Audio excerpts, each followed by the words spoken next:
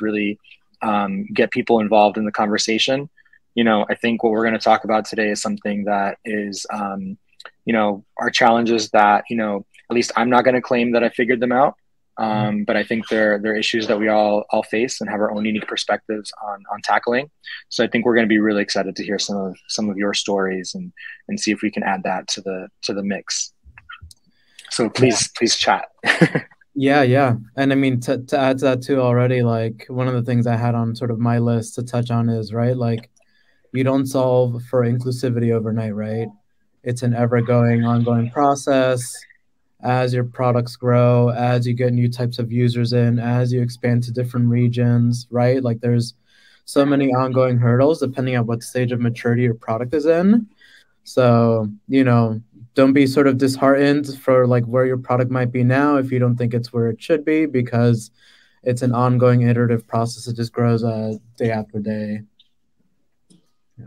Definitely, definitely.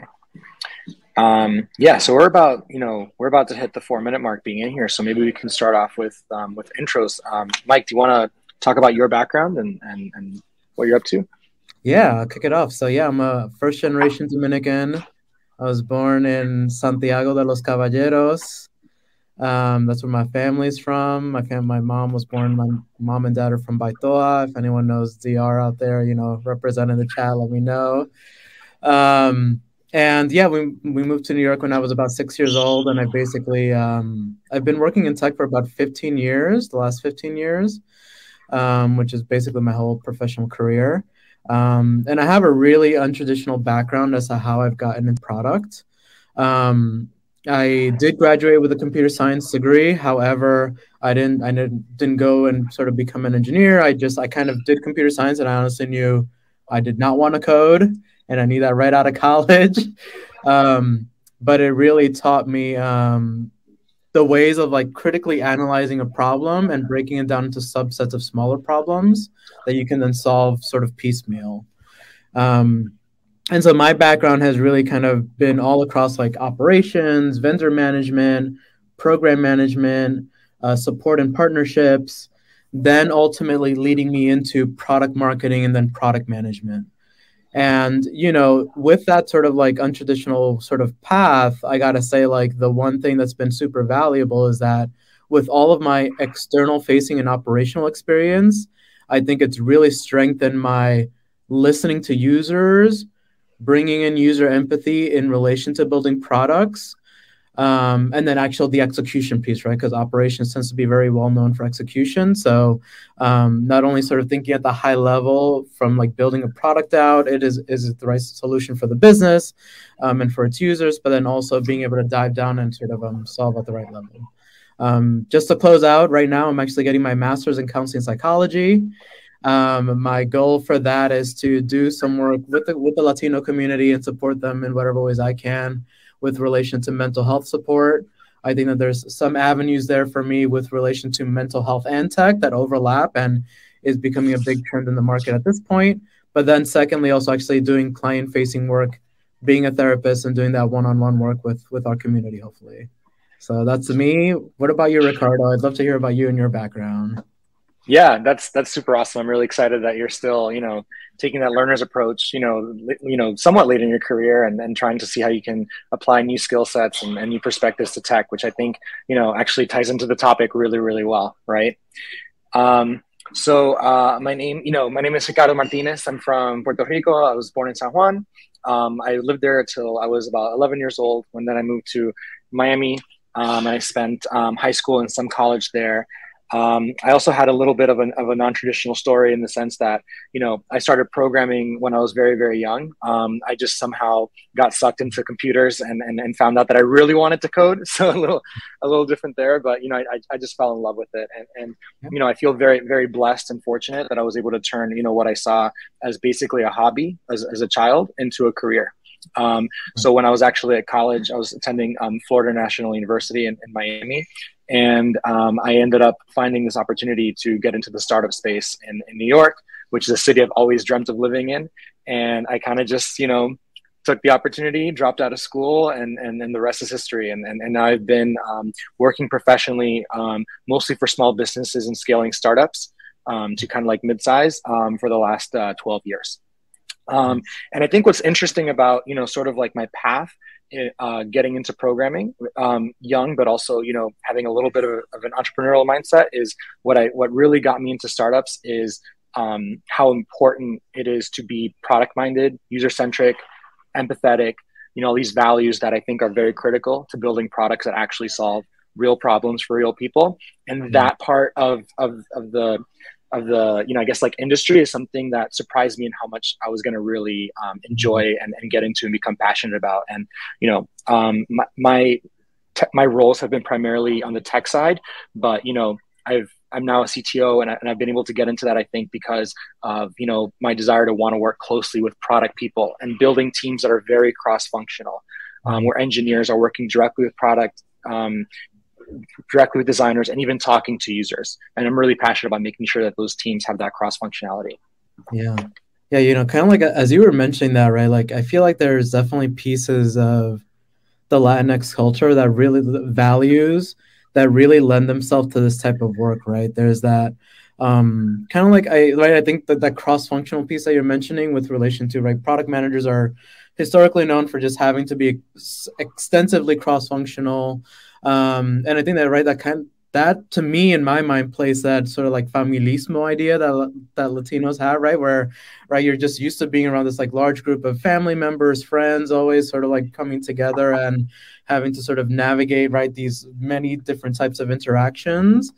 Um, and then secondly too is that like that personalismo that comes in with being Latino too, right? You kind of just like like you and I haven't met before, but right, like it's like there's a warmth, there's a sense of yeah. like there's a sense of care that comes into it um, that I think sometimes, you know, like I, as Latinos, like sometimes we tend to forget that that those strengths that sort of like are innately a part of us, like can really be brought in to this day to day. And when you leverage them, and if they connect with you in the right way, like you know, can be you know bring about really great success uh, professionally.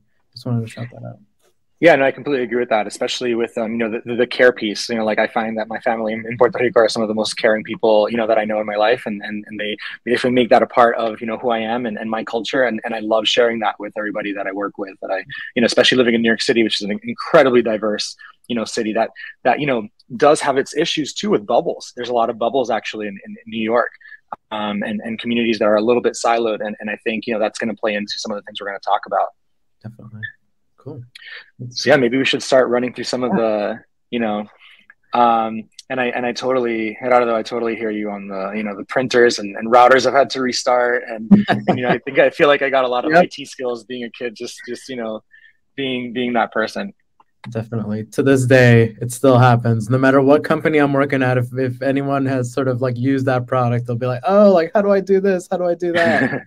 um, always. And I love helping, you know, like, like yeah. it, it really does feel very, very, you know, satisfying to be like, you know, um, help someone kind of like reach what they were trying to do, even if it's something as basic as get online or something as mm-hmm. complex as, you know, um, learning how to cook for the first time, which is something, a product that I worked on back yeah. in the day. Um, so, uh, you know, we, we had a little bit of an agenda here. I think the first thing was just talking about ourselves and, and, and a high level summary. Or I guess yeah. we should talk about where, where we're at right now. So, Mike, do you want to start with what you're working on right now and what you've worked up to most recently? Yeah, definitely. So, right now I'm at WhatsApp. I'm a project manager here. Um, and, you know, I'm still, I, I joined the company three months ago. So, I'm still sort of figuring out the lay of the land and what I'm up to exactly. Um, but we're, I'm on the, I work on business integrity. So that specifically, as we're scaling out our business messaging products, how do we make sure that um, we're doing it safely? We're doing it in sort of like the most, um, you know, looking for both good and bad actors and bringing in the right signals to support each of those areas. Um, making sure no one's being spammed, scammed, etc. And you know, like it, I, I, gotta say, with relation to like our talk today, um, you know, I, I've been at many large companies and I've been at one startup. You know, I've been at Google, I've been at YouTube, I've been at Meta, and all these different companies. And I gotta say, like, I think WhatsApp is like the first company that I've seen just be so broadly inclusive with how they build their product. Um, so one, I'm really excited to be to kind of share a little bit about that today, but also, um, you know, like it's just really astounding, especially because it's a product that's so close to a lot of us, I imagine. Right? Like I know my family uses WhatsApp day to day. in their interactions, right? Like my, I, I have a year and a half old son. We still have a lot of family that's in the Dominican Republic. WhatsApp is the way that we're video chatting with them, that we're, um, you know, sharing videos and photos that they're seeing my son grow up, right? And so that's taken really strongly to heart and a part of the DNA of how we build our products. Um, and, you know, including ensuring that it's accessible to anyone and everyone with a mobile phone versus just those with the latest iPhone, right? That's one piece about sort of inclusivity that I think sometimes get, gets forgotten is that accessibility piece also. Um, so that's what I'm doing right here, right now. Um, but yeah, but I mean, for the last, I would say six years, it's probably been a lot more product focused work that I've done, both in product marketing as well as product management. Um, it's mainly been on the social media side of things. So I've supported um, launches on Facebook video for content creators, um, as well as YouTube, as well as Instagram. That's kind of been um, a lot of really figuring out how the products that I'm shipping are going to land with product market fit. And I'm happy to talk a little bit about that later today because I think right? Like you can't you can build an inclusive product, but you also got to make sure, right, it's meeting the business needs and actually has a market to sort of use it, right? Um, so you know you kind of do that through a lens of uh, of establishing a product market fit for your product. Um, and that that was honestly that's been my most favorite part of the work is just doing that user empathy, really understanding the market, and then seeing how do we translate that into something that actually then we get into their hands. That's awesome. That's really really cool too because I mean you're totally right on like basically like all of my family is on WhatsApp now and and you know the, the fact that that includes also like my my 82 year old abuela like you know and then she knows how to send me pictures and like you know she would text on it and and then stuff like that and and do the calls like it's just a testament to how integrated it is and, and how families communicate around the That's world right? international right? families especially. Exactly. Yeah like yeah. like Karen just said like you know she communicates with her family. Yeah go ahead. I don't yeah um, yeah, tell, tell me a little bit about sort of on your end, like what you're doing and how it touches into inclusive products. Yeah, so you know, I've been doing you know startups for the last twelve years, which is you know every time I join a new startup, I think like, oh, this is the last time that I join a startup. I'm not doing this anymore. But I guess I'm a little bit of a masochist, and I just keep you know finding like a new crazy challenge. Um, and I think what I like about it a lot is that it allows me to touch many different industries and, and, verticals and get experiences in, in different areas. And I think that's one of the great things about being in engineering is, you know, pretty much every industry now needs some sort of like software developer, some someone to lead their software. Um, so most recently, I just joined a, a company called um, Line Leap, and they're basically like a nightlife kind of like you know company. They do they're trying to basically you know um, make transactions in the nightlife setting a lot more efficient. Right now, you're still putting down like a card, and you're still, mm-hmm. you know, it's a very inefficient process, and it's very stressful for bartenders. And I think we're trying to solve that that sort of like um, stress. But you know, I've worked in everything from health products to, to food products, um, mm-hmm. education products. You know, kind of like you know all over the place. And you know, I, I tend to really like being in positions where I um, am able to transform. Um, you know, sort of like you know where a startup that maybe has found some product market fit and and they figured out that there's a market for it but they don't really know how to turn you know how they work into a system that works effectively for scaling right yeah. um, and what i mean by that is you know just like where do ideas come from and then how do you manage those and turn them into releases that are actually effective and that are solving real problems um, mm-hmm. i think that's a really really big key is like you know a lot of people have lots of ideas you know ideas are a dime a dozen um, but mm-hmm. like really picking the ones that are going to make the biggest impact on the most people and that are actually solving the real human and like emotional problems that they're facing i think that's yeah. where people get tripped up um, and a lot of startups fail when they don't when they're unable to build that empathy. Um, and i think inclusion becomes a really big part of that too when you're trying to hit mass market. Yeah. No yeah I, I love that idea right where it's just like it's then you know like you're mentioning empathy a lot and like right as i mentioned earlier like it's like i'm getting my master's in counseling psychology because right like it's so like cool. For, there's been such a connection there for me with relation to what i do day to day especially with relation to building products for users that just right? It's like you're, you're trying to understand like what are the behaviors that this individual is trying to take out in the real world? And how can i make that easier for them less stressful for them right? All of these things that can sort of touch into that that psych angle a little bit that just um you know um is, is what gets me really excited about the work that i do with, with relation to building products. Yeah. That's a great segue into what the next question was going to be which is why we're so excited about this topic. Yeah. And I, and I think you kind of touched on it already. Do you, do you want to add a little bit more to that, or? Yeah, yeah. I mean, yeah, that's definitely that that's that's one piece right there. You know, and and to like to start it off, like I mean, like like I mentioned earlier, like building a successful product period is super tough. Like you know like this is what you know this is this is why startups sort of like go through the churn that they do this is why startups have massive pivots this is why even larger companies like set up and then deprecate products within six months um, right? Because the actually the building of it right is is one piece but then the actually understanding how to like achieve something that has product market fit that's truly meeting user needs um, is a whole other one right? And you know especially you not even sort of considering the fact that it's like building one that's inc- successful and inclusive as well right? Um, you know and inclusivity can mean a lot of different things dependent on where your product is and what it's doing for someone right? Um, you know you can bring inclusivity into a b2b product right? Business to business like an enterprise product. What does that look like? That might look like inclusivity for various types of businesses that maybe wouldn't have access to the type of um, scalability and efficiency that you're bringing into your product, for example. Um, like right there's there's so many different ways that it, you can sort of play off of that idea of inclusivity um, the one thing i will touch on that sort of gets me excited about it and the one thing that always jumps to my mind when i think about inclusivity is identities right the identities mm. of each individual that you're serving as a user right like it's like my as part of my identity like i'm a male i'm latino I'm Dominican, um, you know, like, and so, so, on and so forth, right? And your users also have those same level of granularities around identity that, you know, if you can find a way to kind of like touch and sort of empathize with the various identities of your users and bring that into your product, I think that that's like the really exciting place where you're then actually having them feel seen while they're in your product. Like, like, right? Like, that's like a whole other level. So, oh hey we have someone joining us here um, yeah um, you know that that's what gets me excited about this kind of work is just really thinking about inclusivity from a level of identities and intersectionalities right? We can also call that like user personas as a part of it too right? There's so many different sort of phrasings that that are used sort of throughout the product space that connect to that.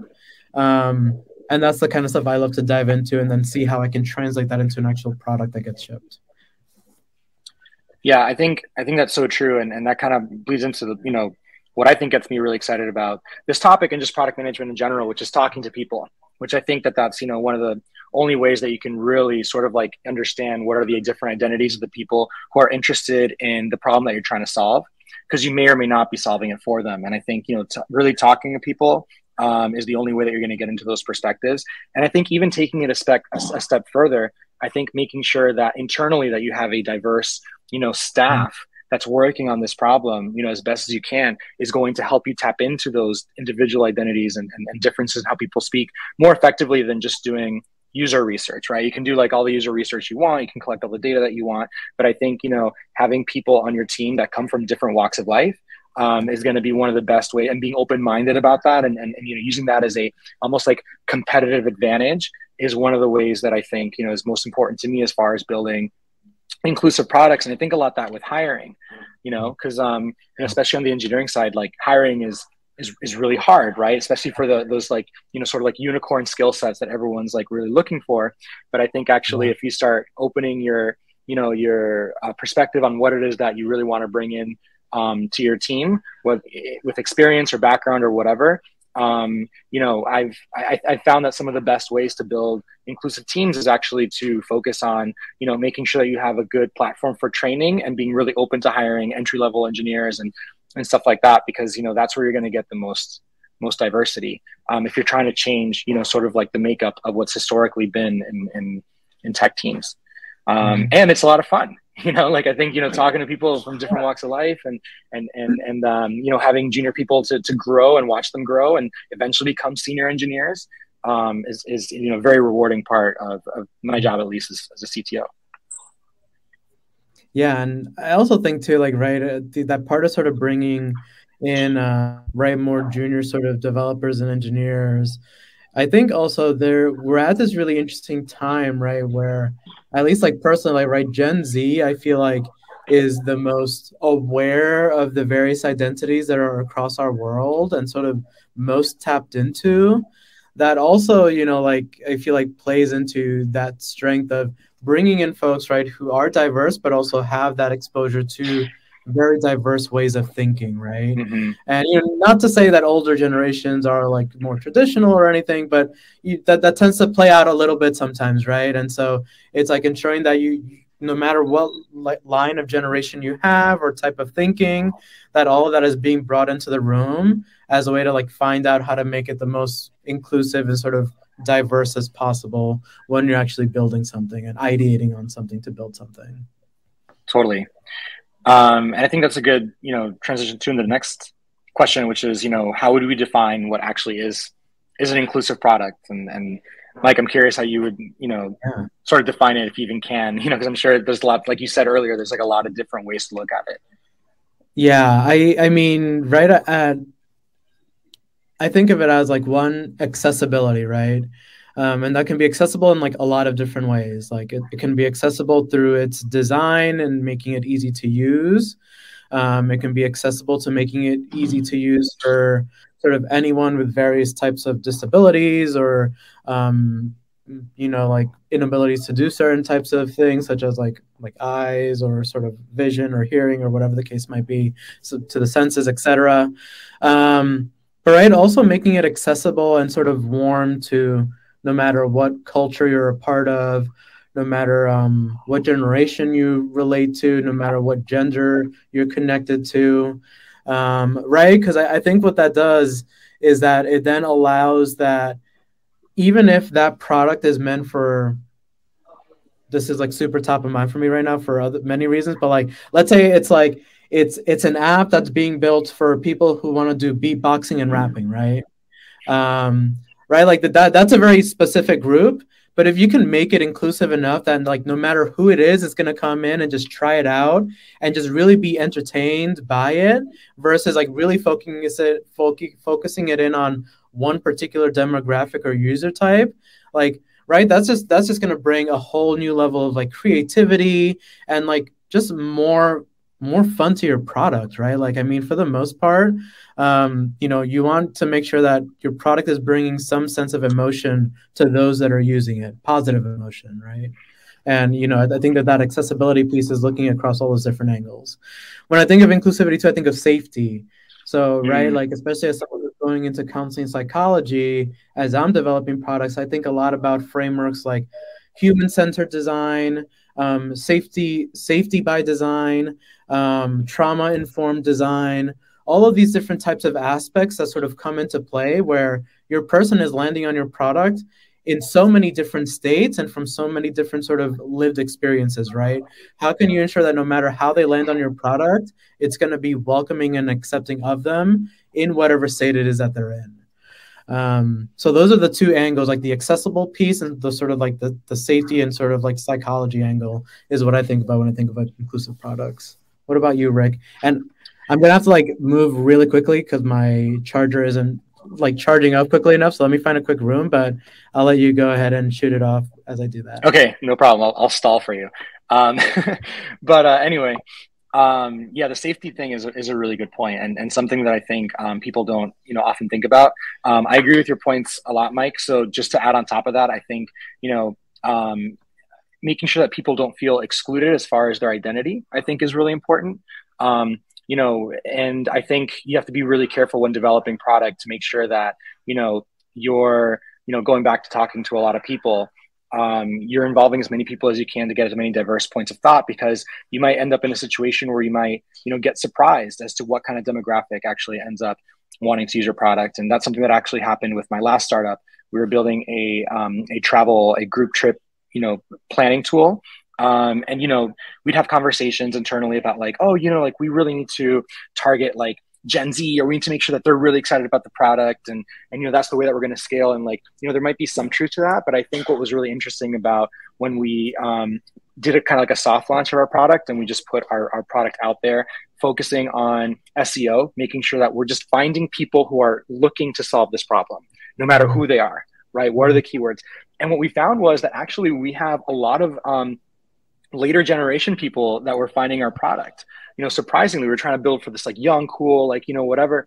And it turns out that the people who were the most passionate users were people in their 50s and 60s who their kids have just gone off to college. You know they're, they're, they have no one at home anymore. They've got lots of friends they've developed over the decades of raising their kids. And they've got money and they're ready to travel you know? So we thought we are going to get all these 25 you know year old birthday trips 30 year old birthday trips and like no we're getting 55 60 year old like you know like milestone trips and and and they're they really want this to work.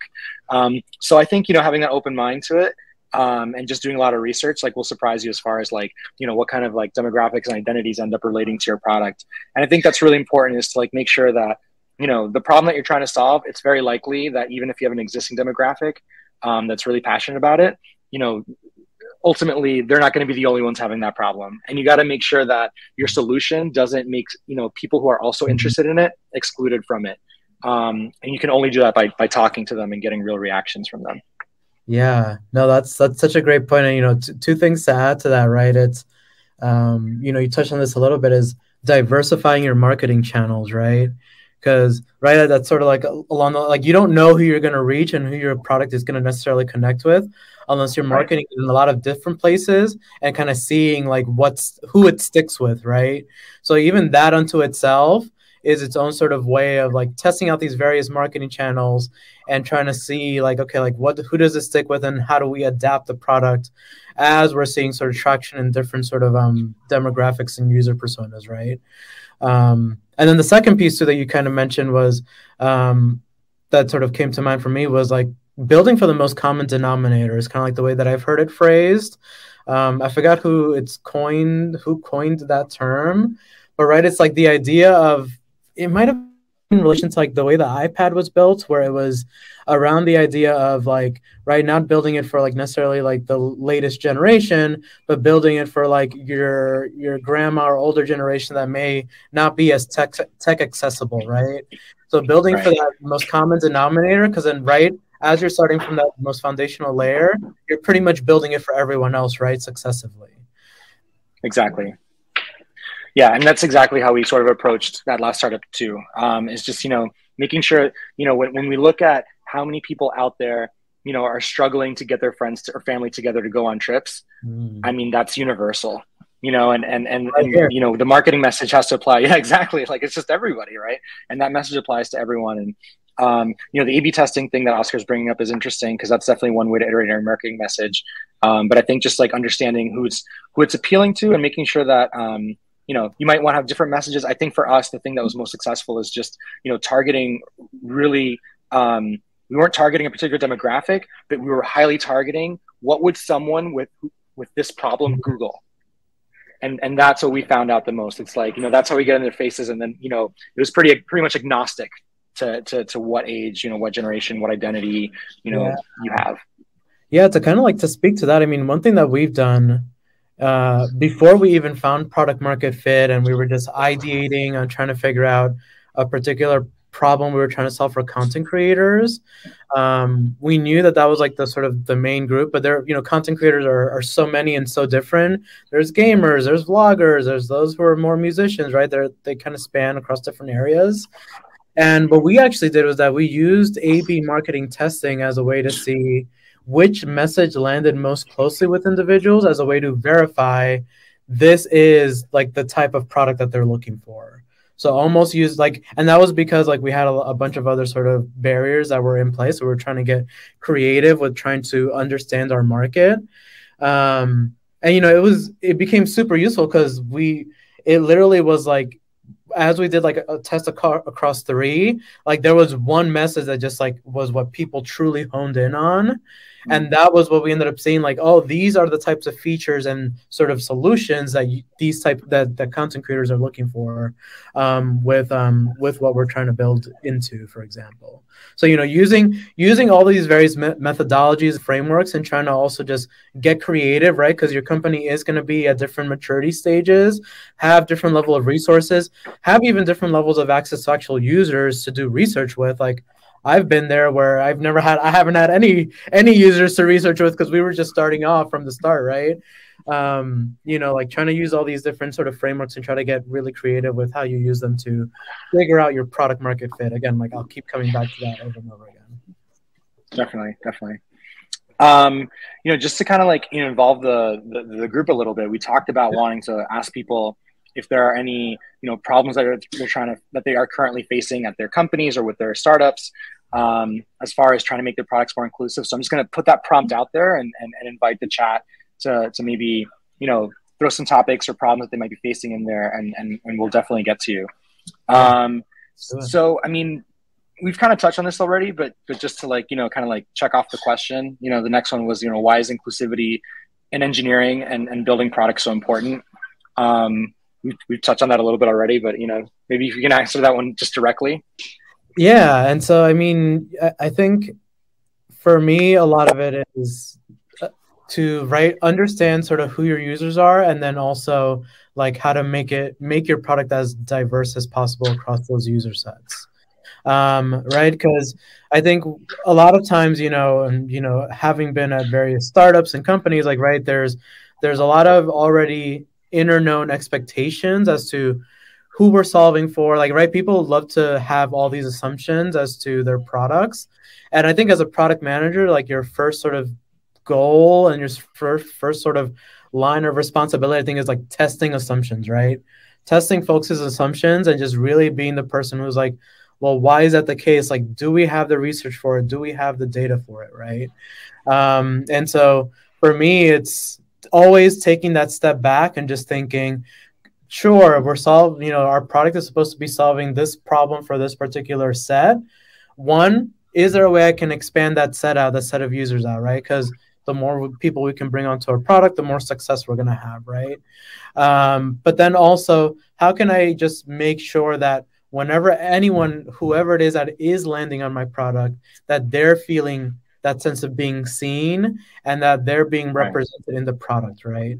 Um, I think that those are that that's at least because you know, like I've had products where it's like you use it and you just like, oh, like this is like so sticky and works for me like that's that's the phrase that, that does it for me is like when i use some, something and it just like it sticks with me right and that's the product that i end up telling people about. That's the product that i go back to day to day. That's the product that i end up leveraging for other creative uses outside of what it's specifically been packaged for right?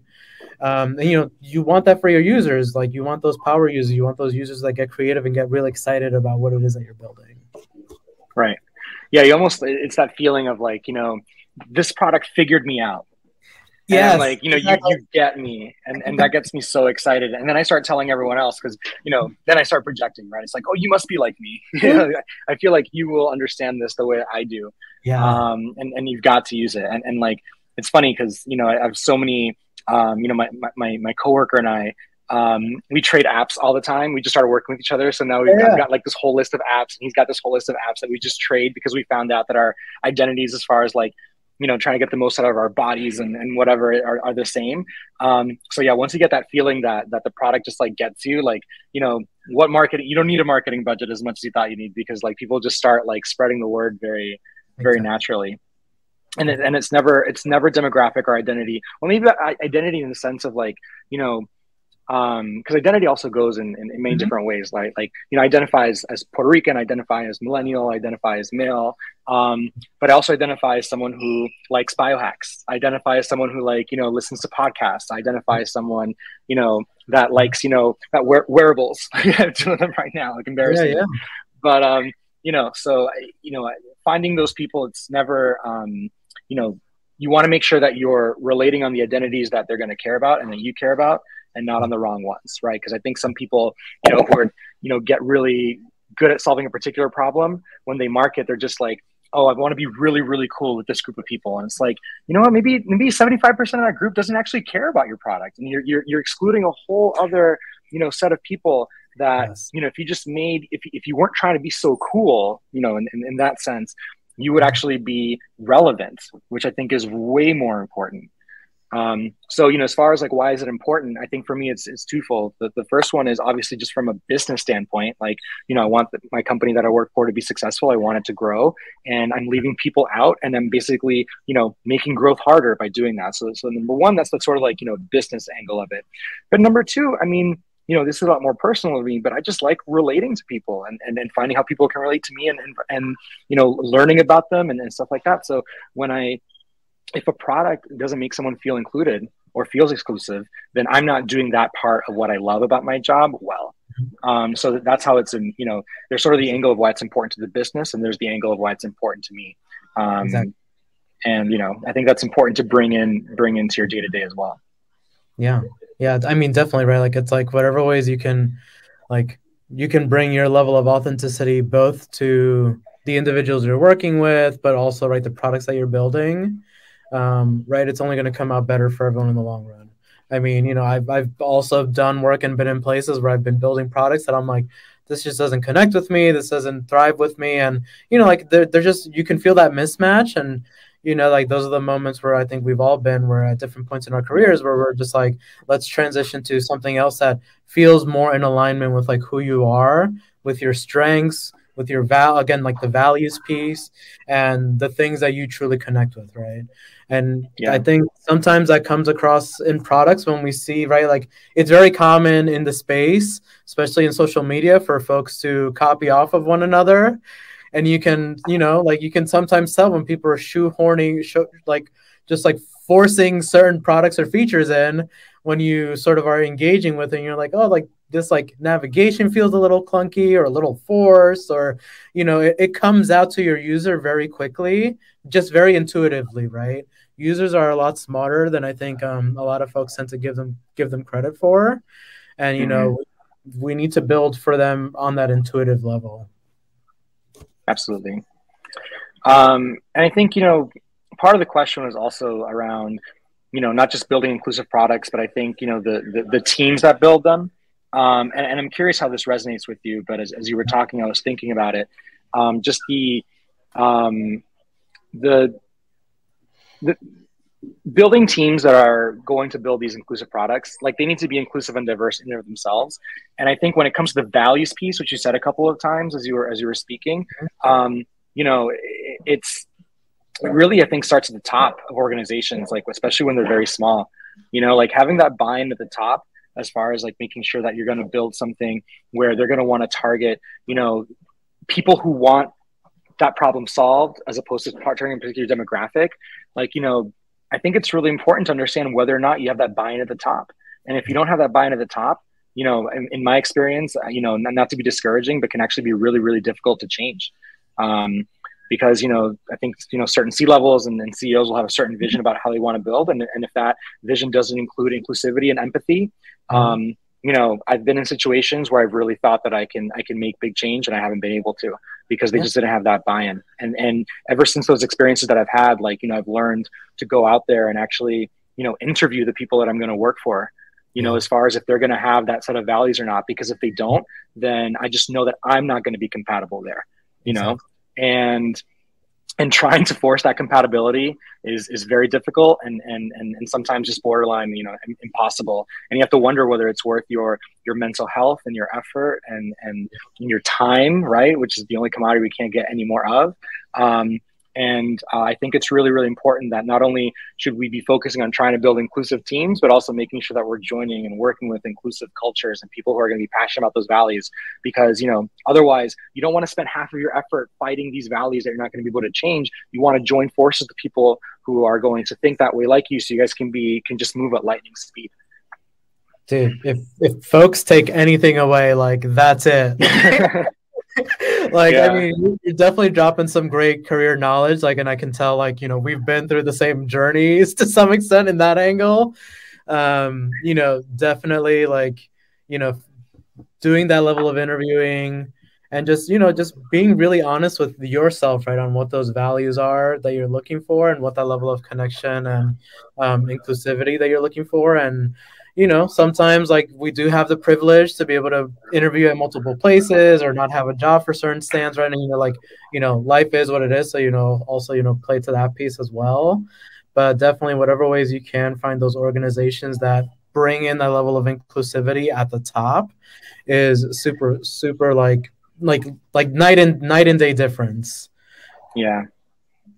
It really is night and day. And I had a feeling like, you know, as, as I was bringing it up, because you were talking about it, that you were going to relate to that because we've been in the game now, you know, for quite a while. And I'm sure we've seen different cultures and, and, and different things. But yeah, th- th- that is that is I think the biggest takeaway that I can probably give someone. I tell it all the times.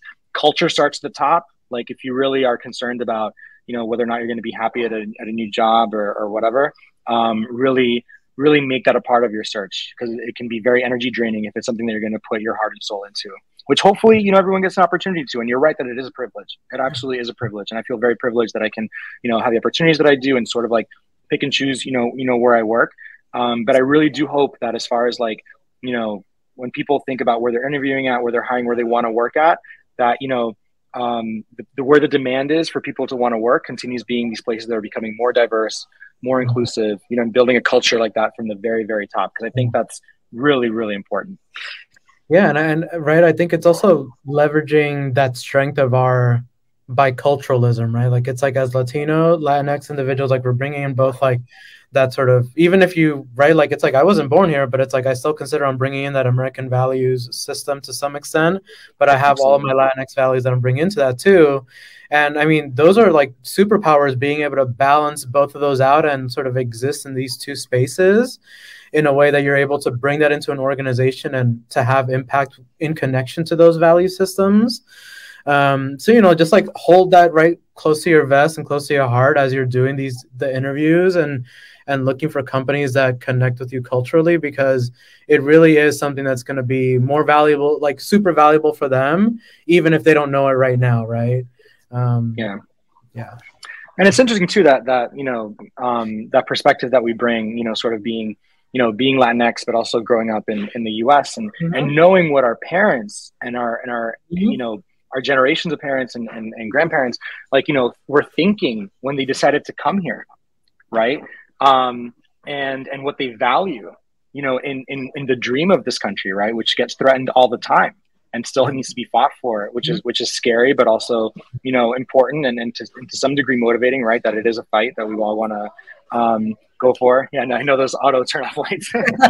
um, but uh, yeah, so you know, just thinking about you know how much I relate to you know what I think you know we can do here in, in, in this country when it comes to the, the, sort of like alleged dream of, of what it can be. A huge part of it is diversity and inclusivity, and and and I try to you know balance that with you know the, the, the scary parts of what's going on in the news and, and just in general now, but also like you know the passion and excitement that I have about you know making great jobs for people and and yeah. and you know what that, that passion just naturally comes from our are being Latinx. yeah, you know, yeah. Esa sazón que tenemos, you know? Yeah, exactly. Um, um, so the, the next Great. question here just was just on engineering being inclusive yeah. overall, just as we're kind of like wrapping up in the last 15 minutes yeah. and, and, maybe we'll have some time for questions at the end. Um, but, you know, I want to just kind of go back to that idea of, um, you know, being really good about, um, yeah, ex- exactly what Camilo is saying too. It's, it's, you know, technology is, is all of ours, responsibility of all of ours as people. And, and the more that diverse and more inclusive it is, the, the better it's going to be and the safer the future of technology is going to be, which, you know, safety and technology is going to be a bigger and bigger and bigger issue over the next couple decades. Yeah. I mean, you know, it's, it's both exciting and, and scary at the same time. Um, so the more the more perspective, diverse perspectives that we have, and the less divided we are as people worldwide, the more the more success we're going to have, and that kind of goes back into what open source has done, right, for for for the world um, you know, bringing in people from all different walks of life, countries, and experiences. And, and, you're seeing a lot of open source projects actually prioritize inclusivity as part of like who's contributing to core um, and, and who's submitting pull requests. And I think the more that we can do for that, I think the, the better it's going to go. Yeah. Um, and I think, you know, I, I would also say as far as like hiring and building teams, you know, one other big takeaway that I'd love for people to have, if you have the, you know, the, the ability to do this at your organization is, you know, make programs to hire entry level people make programs to hire entry level people. You're going to create loyalties that are going to be worth way more than the one senior engineer that you can spend tens of thousands of dollars recruiting through your recruiter that may not even be really loyal to you. They're just looking for their next, you know, not to judge anyone who's going through that, you know, on the other side. But, you know, I think like the times that I've had juniors come in from boot camps or whatever that I've taken chances on. And, and it took a lot of work for me to find, you know, and interview people that were going to be good fits for what I was trying to build um, yeah. as far as like a culture. And, and by culture, I mean, you know, like things like agile and, and being customer centric and people centric and like, you know, people who are going to care about the product that we're building because we were very small. Um, but once I have those, that, that if, if I can find that excitement and that empathy in people, the skill sets will follow.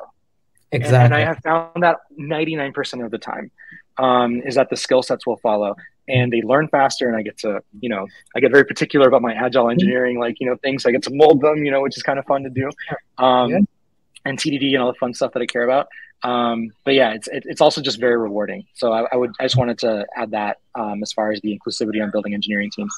Yeah. I mean, you know, like that, that totally reminds me of just the many, the, the many people that I've had sort of take that chance on me, right? Like, it's like, I have that super untraditional background, right? It's like, it's not super common for someone from ops to move into product marketing, to go into product management. You know, like I mean, if I really wanted to, like I could start learning how to code and like try to become an engineer tomorrow, right? Like I could have that drive and that passion. And it's like, you know, like have like it literally all it takes is for someone to give you that chance and opportunity because they see like what you're mentioning, Rick. It's not, it's less so about the particular skill sets but it's about sort of like right that that flavor and just like that um, way of relating to others, that way of you know um, uh, sometimes even just like hard like like work work ethic, yeah, right? To absolutely. And just like the willingness to like lean in, um, that just you know you you can tell like okay like I may have to spend some time like ramping this person up in certain areas, but like they're going to care about what they're doing and they're going to care about the outcome of it and they're going to take it on like really personally right um and so yeah like i think when it comes to to both being inclusive like i would say like looking outside of like the traditional sets of skill sets kind of like a little bit to what you're mentioning rick the only second thing i'll add to that too is trying to do things where you're bringing in um individuals of transitional age so high school college students into your campuses and into wherever it is that you're working just to give them a different perspective of like this is like where you can end up working if this is like where you want to be right i do a lot of work related to that because especially um, both in new york when i was back in new york but also here in san jose like there's like a lot of latinx people who are being like right pushed out by all of the other tech individuals who are moving into the area and feel like yeah. they don't have a place in these tech companies and from my mind it's actually like no like we like we need y'all here like i need more people like me more people not like me i need that diversity here in order to be able to have like that that full frame of thought for whatever it is that we're building yeah, it's interesting you bring that up. I mean, you know, I went to, um, you know, I see Camila's in there, so I, I got to say, you know, we went to FIU together, go Panthers, um, and and you know, it's, it's traditionally it's not a very like known school outside of like Miami, and, and especially for tech, you know. But now that you know Miami is uh, yeah, that's right, John. Um, now that you know Miami has all these tech people coming in, you know, you know, a lot of my big successes that people took chances on me, right? Like you know, like even for my current job, like you know, I didn't know this until I joined, but like apparently I beat out people that went to Stanford and went to these big schools, and and you know, and, and now I'm think I, you know, I, I would like to think that I'm doing a more passionate job than I think anybody else would have done because like you know, I have something to prove, and and they took a chance on me, and and I think a lot of people in our community do have that. Um, so when people are and I think about that a lot as people are moving to Miami, trying to do this whole, you know, tech revolution thing in Miami, bring people from New York and the Bay Area to Miami. What I worry the most about is that now the people that were growing up there, the, the Latinos and then the, the, very diverse and everyone that's there, um, you know, culture are not going to get the same opportunities because now everyone's moving to Miami. So, you know, what I'm hoping is that, you know, FIU and UM and all these schools and Dade County, you know, Miami-Dade College that are down there, um, you know, are able to solve for this problem and they're going to need a lot of government help, I think, too, to make sure that the pipeline isn't just about you know external money and external people coming into Miami, but that these these these um what the pandemic has done as far as like allowing people to work anywhere, it's just going to elevate communities as opposed to just like create the same bubbles, but now just virtual. Yeah, no, totally. Definitely making sure that we're contributing back to that pipeline, right, and sort of feeding back into it and supporting it. Um, you know, I like I take that as a right of the work that I do day to day. Like as a product leader and as a leader like in tech like it's like i take that on as like something that i know like i feel like i need to contribute back to and be a part of yeah um, so we've talked a lot. I want to, you know, just make sure that we have, um, you know, some uh, opportunities here at the end. If anybody wants to ask any questions or any particular topics they want us to dive into in this, this last little bit of time we got. Yeah.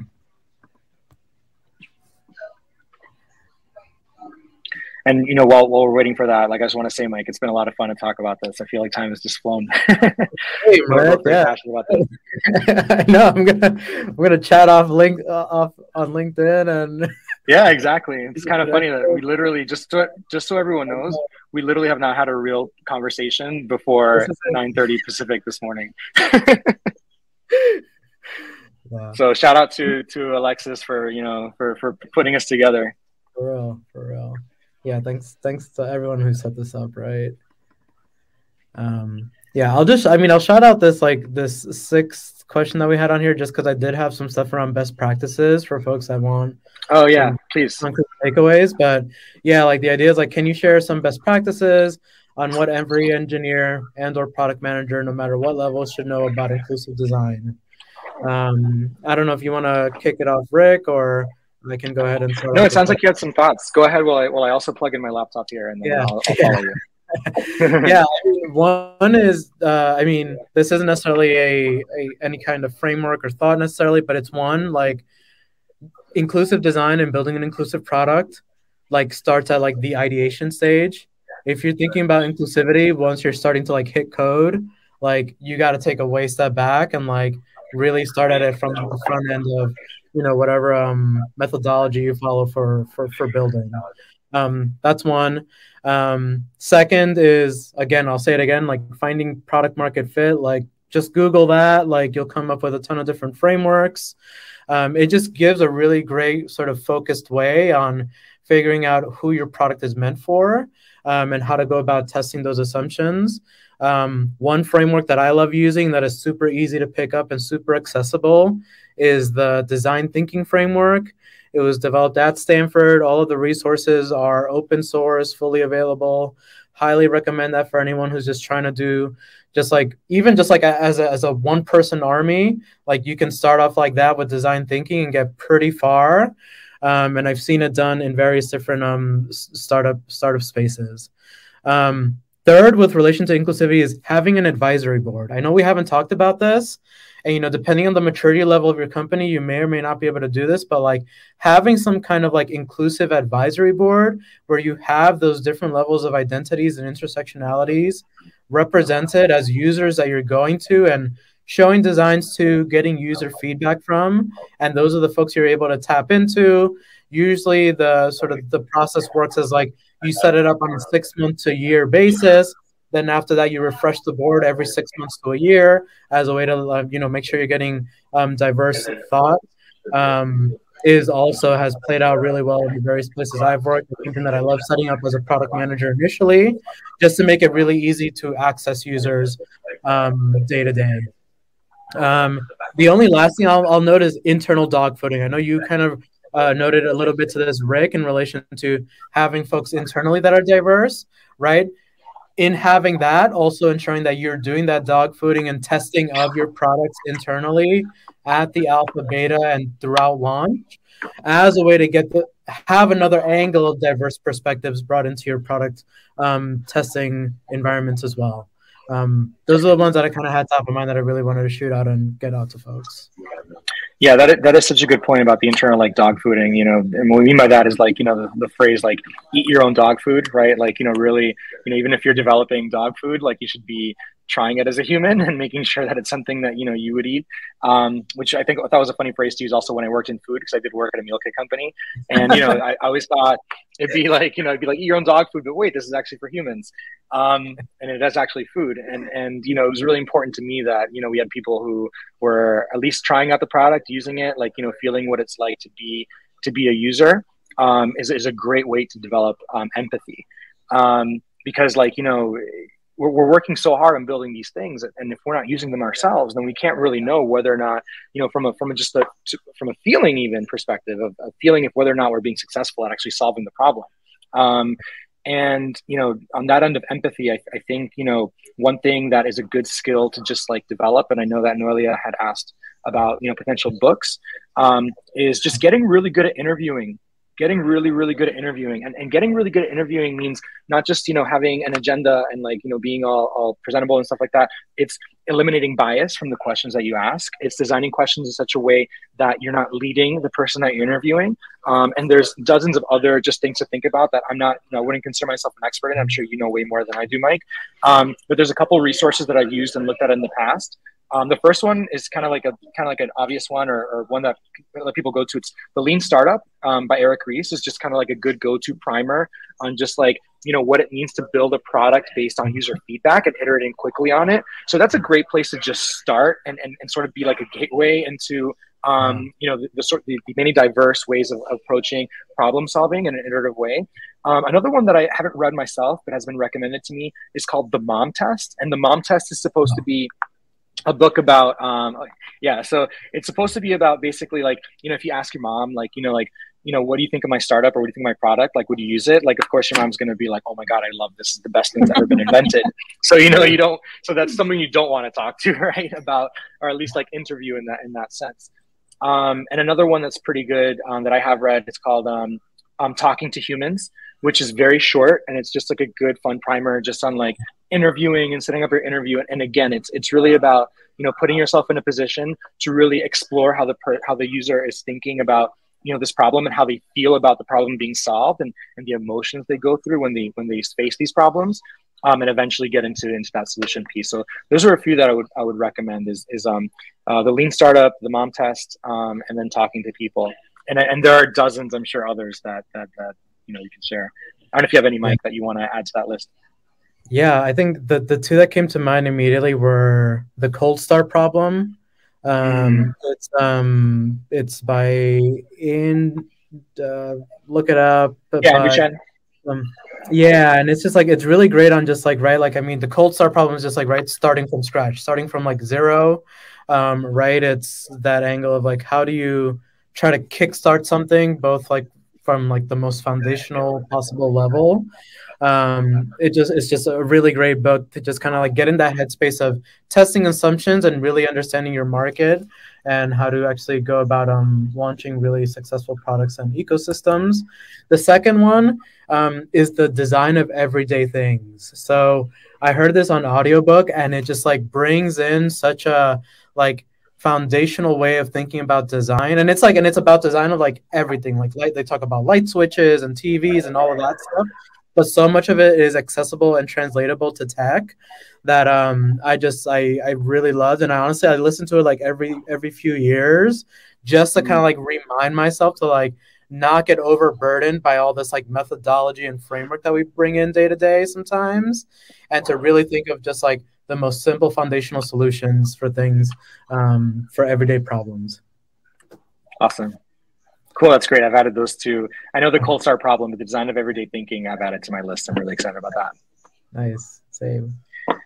Cool. Well, thanks everybody for those of you that were here. I hope you know we you have some couple takeaways and, and insights. Um, and I think we have our LinkedIn's published somewhere if you guys want to reach out to us.